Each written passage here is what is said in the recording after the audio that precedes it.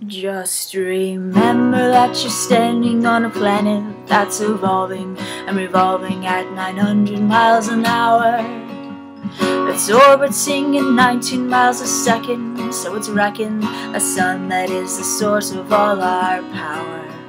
The sun and you and me and all the stars that we can see are moving at a million miles a day in an outer spiral arm at 40,000 miles an hour of the galaxy we call the Milky Way.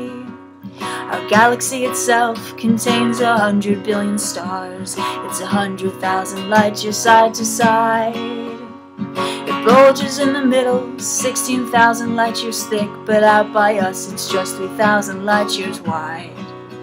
We're 30,000 light years from galactic central points. We go round every 200 million years. And our galaxy is only one of millions of billions in this amazing and expanding universe.